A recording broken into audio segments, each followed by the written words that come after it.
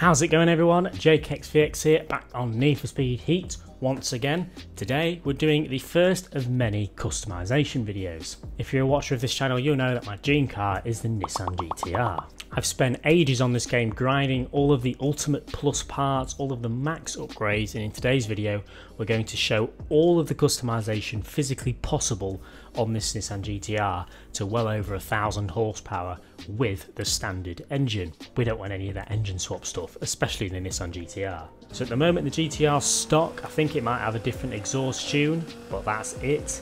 But we don't care about its stock, we just want to see all of the Nissan GTR's customization. So let's have a look, shall we? We're going to do all the performance mods, all of the cosmetic mods, everything like that right now. So, performance, let's max this out. If we go to crankshaft, I believe, yes, the Ultimate Plus I have, that brings us, I want to bring the horsepower up, there we go, 536 horsepower. Ultimate Plus ECU, Ultimate Plus cooling, exhaust, oh yes. Now the turbo, um, oh, oh there we go. 1008 horsepower, just like that. We can engine swap it if we want to up to a 6.5 litre V12 which we can probably get a lot of horsepower out of but it's a GTR we've already got as I said, 1008 horsepower to elites. Now, obviously, there's not much time to spend on the performance modding. We've just gone straight to the 1000 horsepower mark. It is the visual customization that I'm interested in. So, where do we start? I, yes, I thought there was. There are item part sets, and I believe I had one of these on. This one. Was it this one? This one. Yes, now, what on earth? Look at that. That's hideous. Why would you have that? Um, we'll do the wheels after. What about the skirts? I like those. We'll pop those on. There's an absolutely monumental amount of... Oh, exhaust tips. Now we're to go for the Speed Hunters. This is what Forza Horizon needs. There is just a stupid amount of stuff to choose. There's, oh my, ooh. Go for blacked out, I think I did prefer them. Rear bumper. Now I've already done a little bit of customization on this, but not, not much.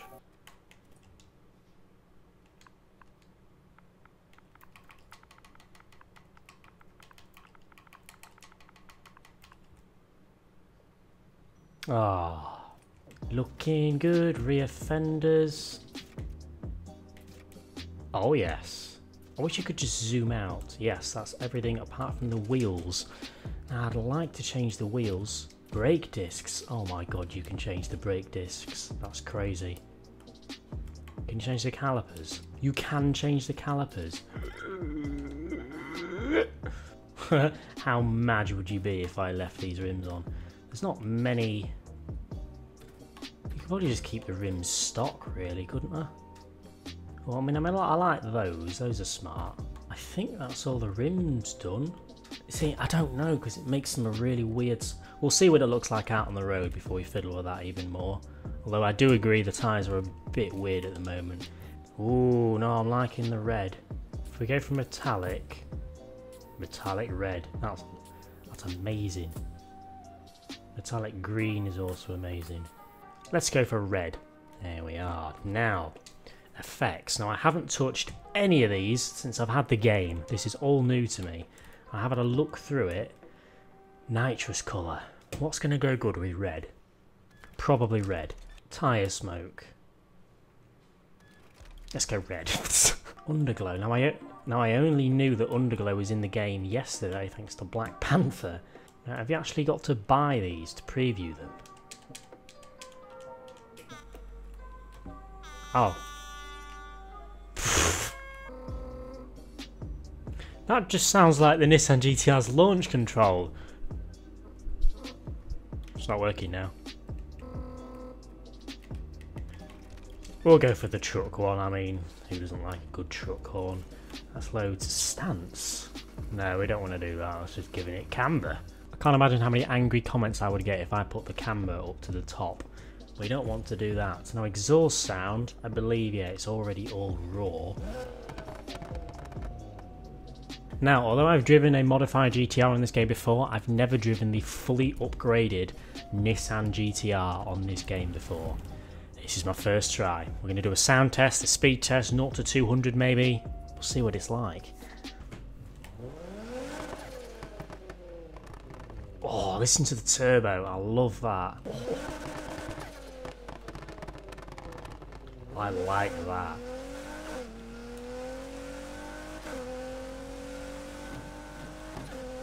120 already. Now, a thousand horsepower on this game isn't as fast as a thousand horsepower on, let's say, Horizon 4. Comparison video coming tomorrow for that. Sounds so nice.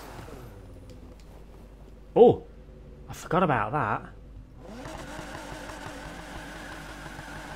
I don't know. I don't actually know how to activate the underglow. That's embarrassing. Oh, the car looks a bit weird in shine like this. Let's see if we can do a top speed somewhere. I'm not entirely sure. Hey up copper, I'm only going 200 miles an hour. Shut up Ana, I'm trying to admire the GTR's exhaust sound.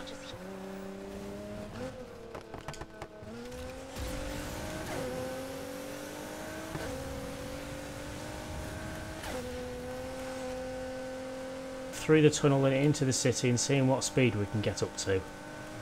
Uh, oh.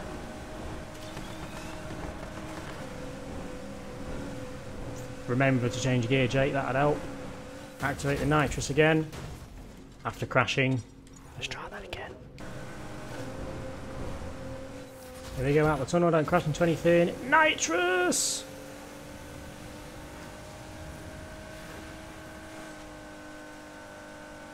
Think we've maxed it out. Is that 235? What's the top speed supposed to be?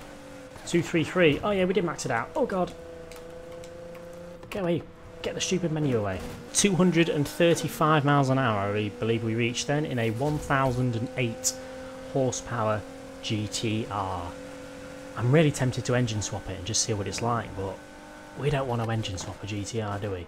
Now, something I do need to admire and give a lot of attention to on this game is this. Listen to the idle sound of the Nissan GTR. Just listen. I can't explain to you how realistic that is. That is such an incredible, that's such a good idle sound. They have nailed that on the bob. On the bob? On Yeah, on the bob. There's the underglow. I was wondering if I had to go to the night to see it.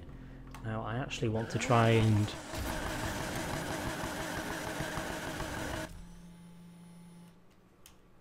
Oh, look at that.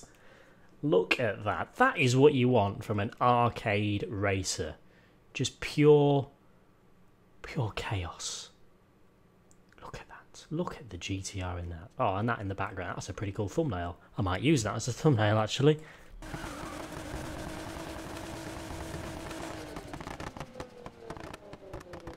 Damn, that nitrous is nasty. I'm going to try a very quick circuit race somewhere in the city. 1000 horsepower GTR, what's it?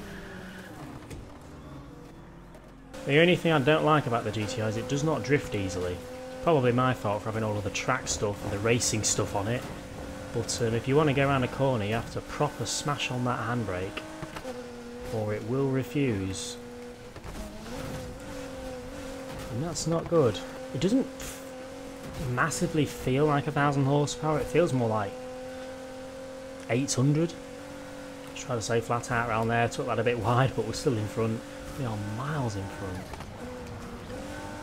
I don't know what the recommended car level was.